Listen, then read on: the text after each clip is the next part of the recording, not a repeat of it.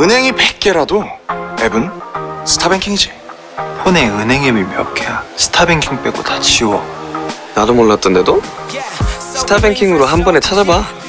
은행마다 계좌 보기 힘들죠? 스타뱅킹에서 한 번에 보세요 오픈뱅킹? 궁금하면 지금 바로 스타뱅킹 다운. 은행 앱 여기저기 들어가지 마. 스타뱅킹 하나면 돼. 은행마다 앱 다운받기 귀찮지? 그냥 스타뱅킹이면 돼.